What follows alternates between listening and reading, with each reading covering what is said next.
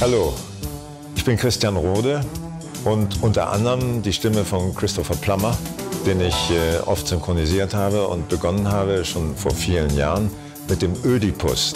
Sie soll mein nächstes Opfer sein. Mit ihr will ich meine mentale Puppe die Nase aufführen.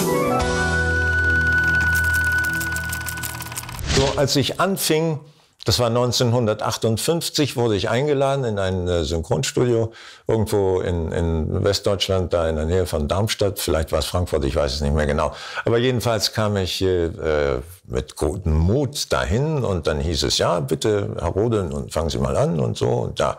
Und dann kam aus dem Hinterhalt sozusagen die Stimme, nicht synchron. Da dachte ich, oh weh, was mache ich jetzt? Noch einen Versuch. Äh, dann kam nochmal, nicht synchron.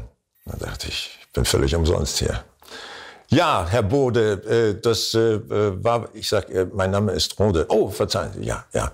Und er hieß Meier und dann habe ich zum Schluss gesagt, gut, Herr Bayer, dann ist es wohl nichts geworden dieses Mal. Mein Name ist Meier. Ja, sage ich, äh, entschuldigen Sie bitte. Und äh, dann habe ich das Synchronstudio verlassen und äh, bin acht Jahre später dann in Berlin erneut ins Synchronstudio gekommen. Aber da haben sie dann nicht gesagt, nicht synchron, sondern dann ging es ganz gut vorwärts. Naja, am Anfang war sie nicht da. Und ich habe dann eine Ausbildung, zweijährige Ausbildung gehabt bei Professor Alice Solscher. Äh, das ist lange her, 55, 56. Und äh, die hat äh, mir sehr geholfen. Eigentlich wollte ich ja Sänger werden. Da hat sie aber gesagt, nee, das lass mal lieber, so toll ist das nicht. Aber ich werde dich ausbilden zu einem gut sprechenden Schauspieler. Und das hat sie gemacht und ich bin ja sehr dankbar dafür. Und die Stimme war natürlich am Anfang nicht trainiert. Sie hat mir ein paar Tipps gegeben, wie man sie eben auch bis ins hohe Alter äh, fit hält. Nämlich durch das Atmen, durch das bewusste Atmen. Sie hat auch gesagt, man kann Husten auch mal wegatmen. Also das waren so ein paar Tipps, die sie hatte und die mir sehr geholfen haben.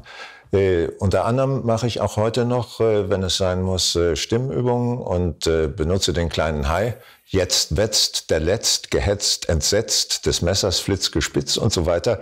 Das ist sehr hilfreich. Und der Korken auch, den man zwischen die äh, Zähne klemmt und dann spricht.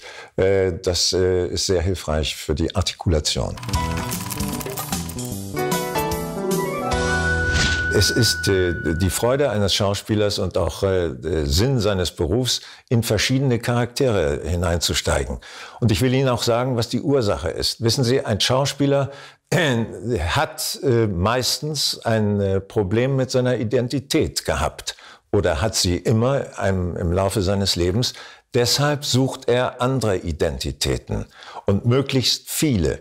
Äh, das befriedigt ihn ungemein auf der Suche, will ich mal sagen, nach neuen Identitäten, weil ihm eine eigene vielleicht fehlt. Mein Vater war Kunstmaler und er hat auch äh, äh, manche Schauspieler porträtiert und äh, hat immer gesagt, merkwürdig, Schauspieler haben kein Gesicht, wenn sie privat sind.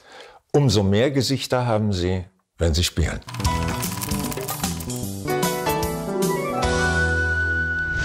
Oh, das ist vor allem Menschenkenntnis, die er haben muss. Eine überragende Menschenkenntnis. Und er muss eigentlich Psychologie studiert haben auch, denn das spielt eine ganz große Rolle bei der, äh, äh, bei der Entdeckung von Verbrechen und so weiter. Er muss sich ja hineinfühlen in die, in die psychische Befindlichkeit des Täters.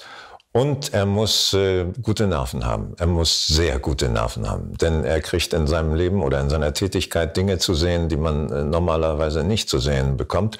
Und er muss die Nerven dabei halten. Mein Freund hastete los und uns blieb nichts anderes übrig, als ihm zu folgen. An der Verbindungstür zum Sonderwagen wurden wir aufgehalten. Nichts, rief Holmes und warf die Arme hoch. Doch dann erstarrte er mitten in der Bewegung. Er zog mich am Ärmel und deutete auf die schwarze, von Kohlenstaub bedeckte Gestalt, die auf dem Tender vor dem Sonderwagen stand. Sie stützte sich auf ein merkwürdiges Gerät. Es ähnelte einem Gewehr, besaß aber einen überdimensional dicken Lauf. Watson, Haben Sie Ihren Revolver? stieß Holmes hervor. Ich bejahte das. Dann erschießen Sie diese Person rasch. Sie haben nur eine Chance, wenn Ihnen Ihr Leben lieb ist. Aber, aber wie, wieso? stammelte ich. Da hob die Gestalt vorne im schwarzen Anzug das merkwürdige Gewehr. So schießen Sie doch, Watson! Holmes kreischte es förmlich. Ich schluckte, ich schluckte und legte an. Die Detonation aus der alten Webley ließ den Waggoninnenraum erbeben. Also das sind nur einige Aspekte. Ein echter Detektiv würde Ihnen noch sehr viel mehr darüber erzählen können, natürlich. Ja, das, äh, das war schon ganz anders. Äh, ich will kurz erzählen, 1955, also ich muss schon sagen, anno 1955, begann ich beim äh, Norddeutschen Rundfunk Hörspiele zu machen, und zwar in der berühmten Folge äh, äh, Schulfunk. Das war damals sehr beliebt. Also wenn Wassergeplätscher war, dann war das, wurde das richtig dargestellt. Und wenn man in die Badewanne musste, dann musste man auch wirklich in die Badewanne äh, äh, im Badeanzug. Und so realistisch, so naturalistisch wurde gearbeitet. Und äh, dann äh, noch äh, etwas, was äh, ganz anders früher war. Wir haben natürlich nicht einzeln gesprochen, sondern wir haben mit den Partnern zusammen gesprochen, also nicht geixt, wie man heute sagt, wenn man alleine vorm Mikro steht, sondern äh, wir haben die Szenen so gespielt, wie sie vom Autor gedacht waren, das heißt bis zu sechs, sieben, acht Personen vom Mikro. Und äh, die Inhalte haben sich natürlich auch geändert. Zum Beispiel ist das alles ein bisschen altmodisch damals gewesen, aber das hat die, äh, wie soll ich sagen, die Fantasie der Zuhörer ungemein beflügelt.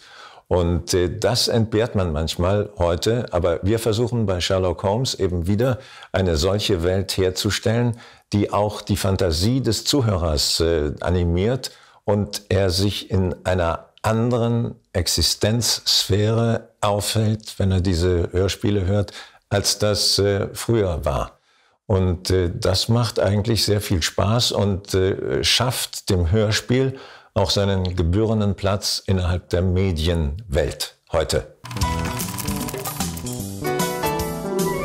Wir nehmen zusammen auf, weil wir uns das ausbedungen haben. Denn äh, die beiden Figuren sind so dominant, dass es schade wäre, wenn man die xen würde. Und äh, mit Peter Gröger arbeite ich unglaublich gern zusammen und wir improvisieren auch viel und äh, das macht äh, ungeheuren Spaß mit ihm. Äh, ich äh, achte darauf, dass man äh, verständlich spricht, und zwar was das Akustische betrifft und auch was die Inhalte betrifft.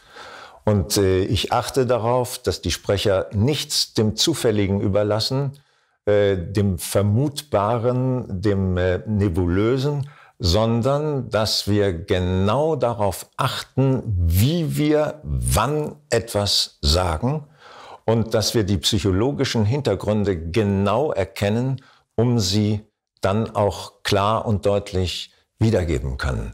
Äh, das heißt, dass wir wirklich bewusst sprechen und bewusst die Inhalte transportieren. Das halte ich für das Wichtigste, damit der Zuhörer auch versteht, worum es eigentlich geht. Naja, erstmal muss ich Sie ja hören. Und äh, wenn Sie gut sind, hab ich, äh, gratuliere ich Ihnen. Und wenn Sie nicht gut sind, das heißt, wenn ich nicht verstehe, was Sie sagen oder was Sie spielen, dann versuche ich Ihnen den Weg zu zeigen, wie Sie es machen sollen. Äh, und äh, ich habe es schon gesagt, das Wichtige ist die Verständlichkeit. Und zwar die akustische und auch die inhaltliche.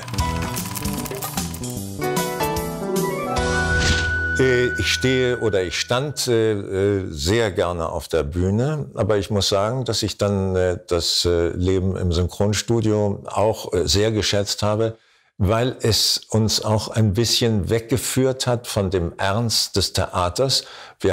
Ich habe nie in meinem Leben so viel gelacht und so viel Spaß gehabt wie im Synchronstudio. Das ist jetzt dadurch, dass wir Xen und allein da stehen, ein bisschen traurig geworden. Aber damals war das äh, für mich eine wunderbare Entspannung. Wenn ich an die äh, Serien von äh, Tennisschläger und Kanonen denke mit Robert Kalb, den ich da gesprochen habe, das waren wunderbare Zeiten, das muss ich schon sagen.